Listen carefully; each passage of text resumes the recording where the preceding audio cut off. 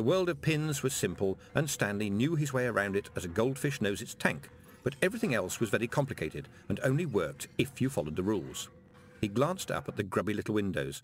They were far too small to climb through and had been welded shut by many applications of official paint. So he broke one pane as neatly as possible to allow some fresh air in. He made a note of this in the breakages book. Mr. Groat was still breathing, although with an unpleasant bubbling sound. There was a first aid kit in the locker room because regulations demanded it, but it contained only a small length of bandage, a bottle of something black and sticky, and Mr. Groat's spare teeth. Mr. Groat had told him never to touch his homemade medicines, and since it was not unusual for bottles to explode during the night, Stanley had always observed this rule very carefully. He did not say in the regulations, if attacked by huge, swooping, screaming creature, hit hard in the mouth with sack of pins, and Stanley wondered if he should pencil this in, but that would be defacing post office property, and he could get into trouble for that. All avenues of further activity being therefore closed, Stanley remained calm. It was a gentle snow of letters. Some landed still burning, fountaining out the column of crackling fire that had already broken through the post office roof. Some were blackened ashes on which sparks travelled in mockery of the dying ink. Some, many, had sailed up and over the city unscathed, zigzagging down gently like communications from an excessively formal sort of god. Moist tore off his jacket as he pushed through the crowd. The people probably got out, said Miss Dearheart, clattering along beside him. Do you really think so, said Moist. Really? No. Not of guilt set this up. Sorry, I'm not very good at being comforting anymore. Moist paused and tried to think. The flames were coming out of the roof at one end of the building. The main door on the whole left side looked untouched, but fire was sneaky stuff, he knew. It sat there and smouldered until he opened the door to see how it was getting on, and then the fire caught its breath and the eyeballs got sold and scarred. I'd better go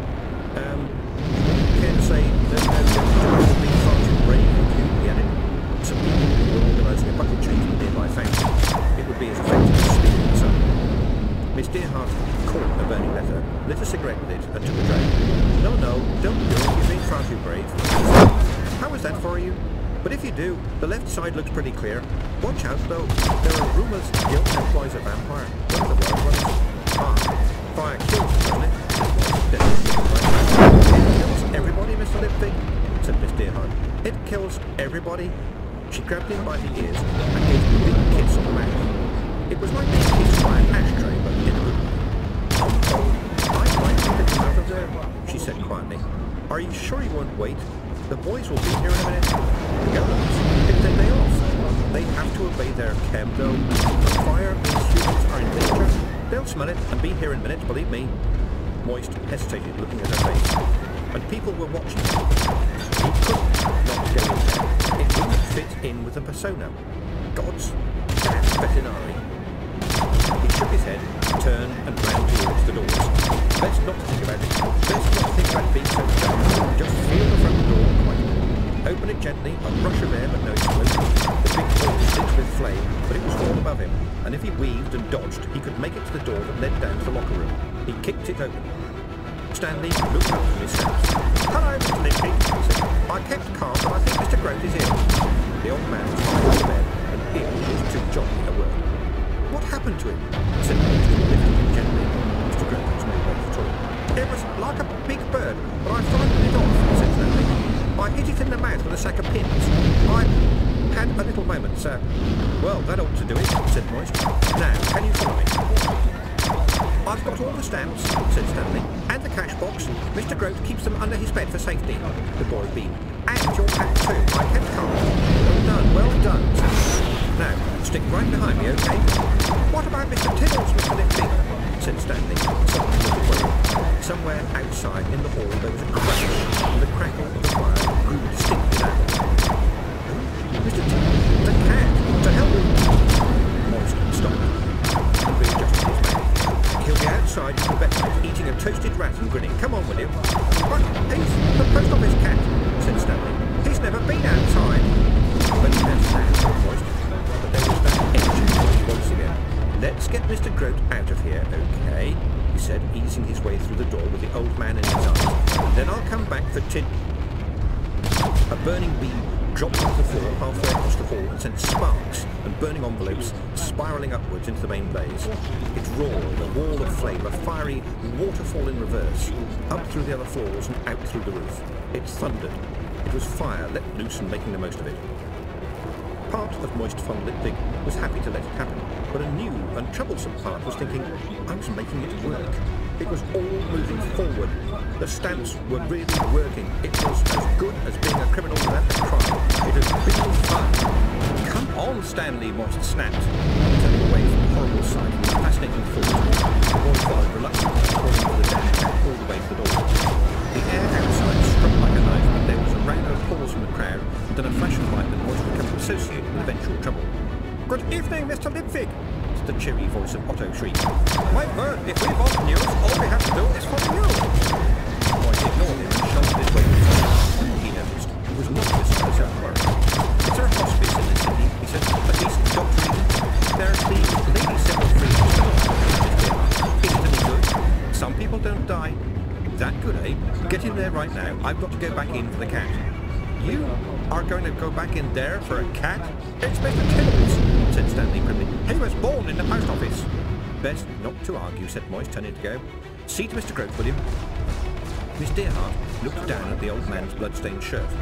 But it looks as though some creature tried to... She began. Something fell on him, said Moist shortly. That couldn't cause... Something fell on him, said Moist. That's what happened. She looked at his face. All right, she... Something fell on him. Something with big claws? No. A joist with lots of nails in it, something like that. Anyone can see that. That's what happened, was it? said. No point in getting the watching box, as he thought, hurriedly to the doors. They'll bump around and be any for them, and in my experience, well, always like to arrest somebody. Makes you think it was Reacher Gilt, mister. Littling, wasn't it? Oh, you could tell, could you? That's a skill of yours, is it? Funny thing, we can tell sometimes too. You were a very familiar face with Littling. Where are you from? No, there was no point in getting friendly with the watch. They might have a couple of days exploded flames flickered on the edge of the roof. Moist ducked into the doorway as glass rained down. As for Tiddles, well, he had to find the damn cat.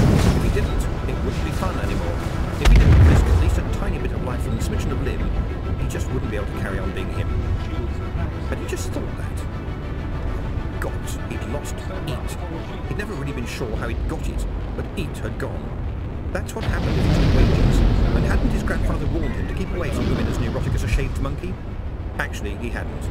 His interest lying mainly with dogs and beer, but he should have done. The vision of Mr. Groat's chest kept bumping insistently against his imagination.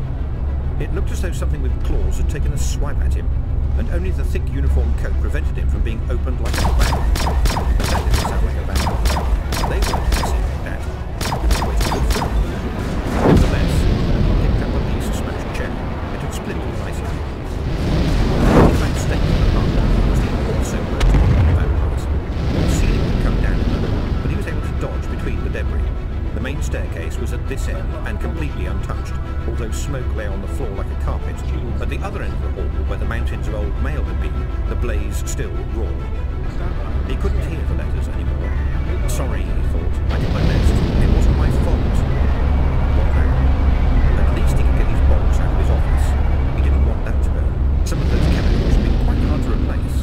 The office was full of smoke, but he dragged the box out from under his desk and then spotted the golden suit on its hanger.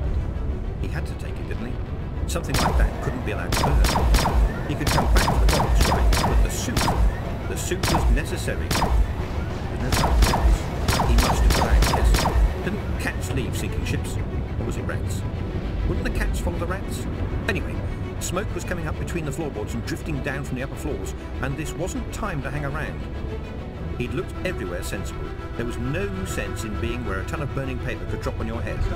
It was a good plan, and it was only spoiled when he spotted the cat down in the hall. It was watching him with interest. Tiddles! bellowed Moist. He wished he hadn't. It was such a stupid name to shout in a burning building. The cat looked at him and trotted away. Cursing, Moist hurried after it and saw it disappear down into the probably- There was probably another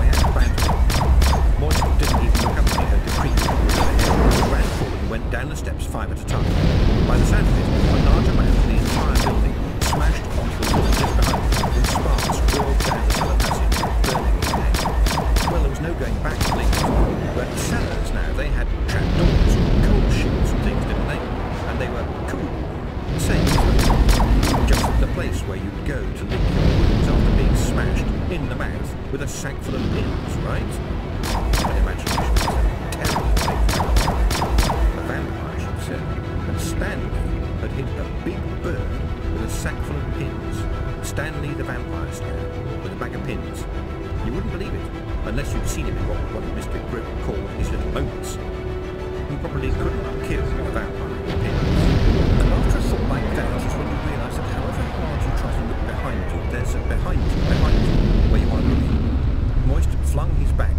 Stone wall and slithered along it until he ran out of wall and acquired a door frame.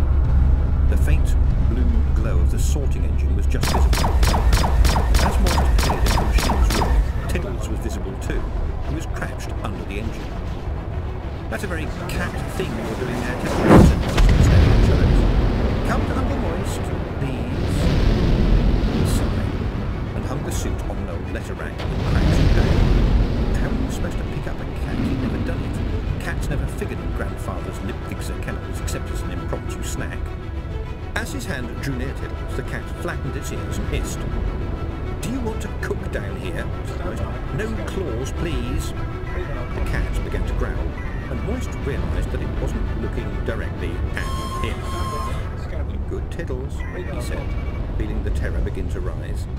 It was one of the prime rules of exploring in a hostile environment. Do not bother. And suddenly, the environment was a lot more hostile. Another important rule was, don't turn round slowly. Not the cat. Damn the cat, it's something else. He stood upright and took a two-handed grip on the wooden stake. It's right behind me. Yes, he thought. Bloody well, bloody right, bloody behind me. Of course it is. How could things be otherwise? The feeling of fear was almost the same as the feeling he got when, say, a Mark was examining a glass diamond. Time slowed a little, every sense was heightened, and there was a taste of copper in his mouth. Don't turn round slowly, turn round fast. He spun, screamed, and thrust. The stake met resistance, which yielded only slightly. The long, pale face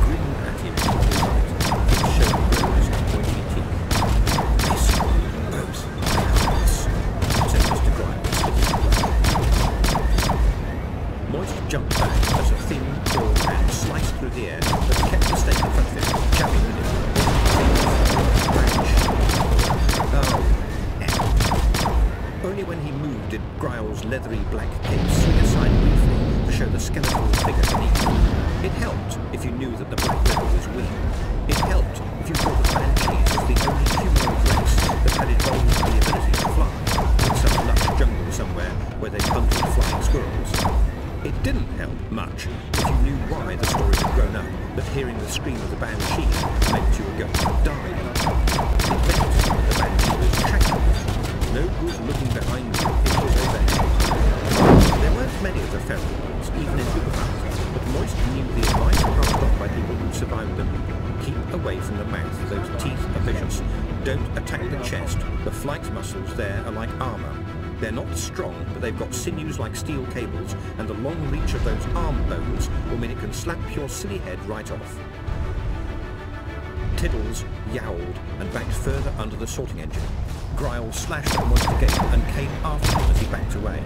Their necks snap easily if you can get inside their reach, and they have to shut their eyes when they scream. Gryle came forward, head bobbing he struck. There was nowhere else for Moist to go, so he tossed aside the wood and held up his hand. All right, he said, just make it quick, okay. The figure kept looking at the golden suit. It had a I'm going somewhere afterwards, said Moist helpfully. Gryle hesitated. He was hurt, disorientated, and had eaten pigeons that were effluent on wings. He wanted to get out here and up into the cool sky. Everything was too complicated here. There were too many targets, too many smells. For a banshee, everything was in packs, with teeth, claws, and body weight all bore down at once. Now, bewildered, he struck it back and forth, trying to deal with the situation. There was no room to fly, nowhere else to go. The prey was standing there. Instinct, emotion, and some attempt at rational thought all banged together in Gryle's overheated head. Instinct, leaping at things claws out worked for a million years, so why not now? Threw back his head, screamed, and sprang. So did Moist, ducking under the long arms. That wasn't programmed into the Banshee's responses. The prey should be huddled or running away. But Moist's shoulder caught him in the chest. The creature was as light as a child. Moist felt a claw slash through his arms. He hurled the thing onto the sorting engine and flung himself to the floor. For one horrible moment, he thought he was going to get up. He missed the wheel, but as the control shifted, there was a sound.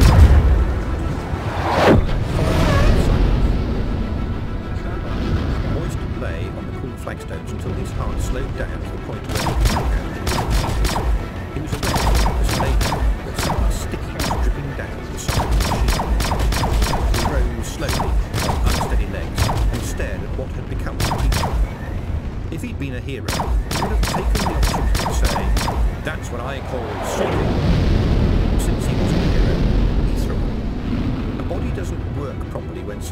bits are not sharing the same space time frame as the rest of it, but it does look more colourful. Then, clutching at his bleeding arm, Moist knelt down and looked under the engine for Tiddles. He had to come back with the cat, he thought Buzzley. It was just something that had to happen. A man who rushes into a burning building to rescue a stupid cat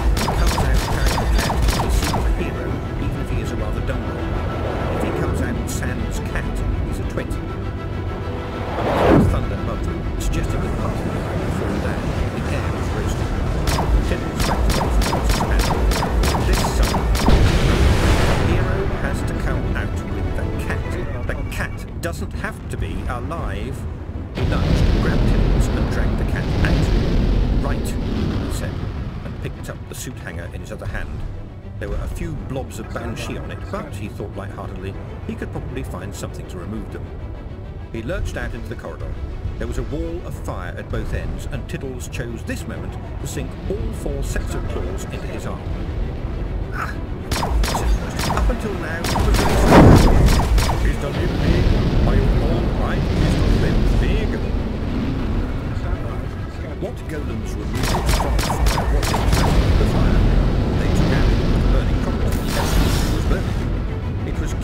surgical. They assembled at the edge of the fire and deprived it of anything to burn, herded it, cornered it, and stabbed it death. Golems could wade through lava and pour molten iron. Even if they knew what fear was, they wouldn't find it in a mere burning building. Glowing rubble was pulled away from the steps by red-hot hands.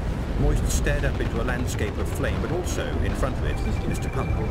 He was glowing orange. Specks of dust and dirt on his clay flashed and sparkled. Good see. Big he boomed cheerfully, tossing a crackling beam aside. We have cleared a path to the door. Move with speed. Um, thank you, shouted Moist above the roar of the flames. There was a path dragged clear of debris, with the open door beckoning calmly and coolly at the end of it. Away towards the far end of the hall, other golems, oblivious of pillars of flame, were calmly throwing burning floorboards out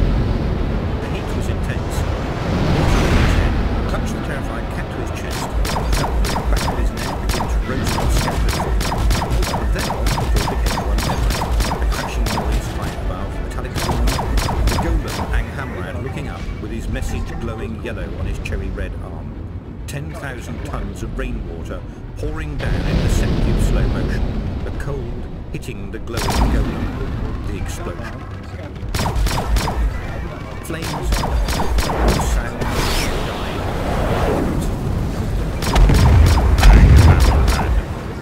Anghammarad his hands. There was nothing there except heat, furnace heat, blasting heat that nevertheless made the shapes. A hollow voice repeated. I have lost my clay, said the golem. Yes, said Death. That is standard. You are dead. Smashed. Exploded into a million pieces. Then who is this doing the listening? Everything there was about you that isn't clay. Do you have a command for me? said the main standing up. Now. You have reached a place where there are more orders. What should I do? I believe you have failed to understand my last comment. Anghammarad sat down again. Apart from the fact that there was sand rather than ooze underfoot, this place reminded him of the abyssal plain. Generally, people like to move on. They look forward to an afterlife. I will stay here, please. Here. There's nothing to do here, said Yes, I know. It is perfect. I am free. At two in the morning, it began to rain. Things could have been worse. It could have rained snakes. It could have rained acid. There was still some rain, some walls. There was still some building. His deer sat on some raw rubble outside